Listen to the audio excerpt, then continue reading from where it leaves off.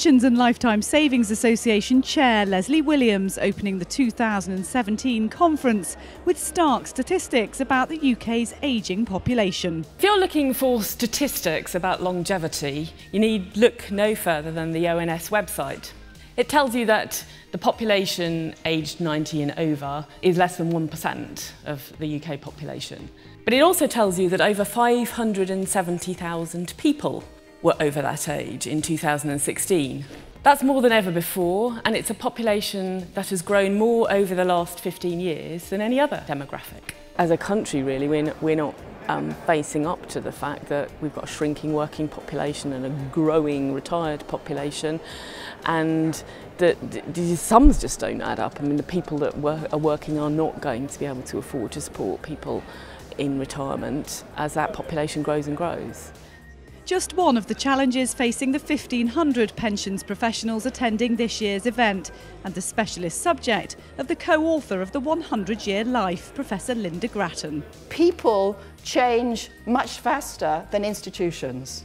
And so, what you're seeing now is a deep sort of disconnect between how people would like to live and how institutions corporations, governments are creating a context in which they live.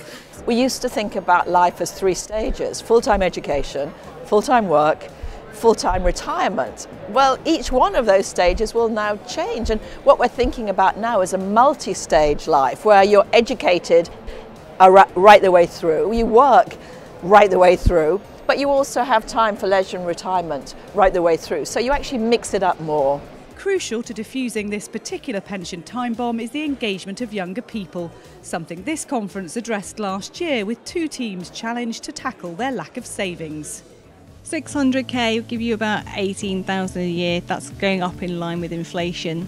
So 300,000 give you about 9,000 pounds a year a 300k, 9k, you're, pro- you're possibly just living within your means. I really need to think about having my own little pot as well as that because, you know, who knows if there's even going to be a state pension by the time I retire. It's pretty scary. Revisiting the teams this year, it seemed the initiative had worked, with many subsequently spreading the word about the importance of saving. So when I got out, um, everyone was asking where I'd been and everyone was really shocked that like they didn't know about their pensions either. So I actually um, contacted HR and asked them to come up to Manchester to just um, brief everyone really about their pensions. We have other um, schemes at work as well so that they were covered as well but yeah it was really interesting and the ability to engage further with savers will increasingly rely upon the use of consumer friendly technology, something the association's new chief executive wants to see the industry fully embrace. I think it's fair to say that the industry as a whole is not where it should be in terms of the technology curve. If we were to think about where it is, it's got a long, long, long way to go. We at the PLSA, in the way that we do things with our members and the way that we communicate with our members, we've got a long way to go as well. It'll be something that we'll be kind of um, focusing and prioritising on as an organisation, not least in terms of things that we discuss with our members.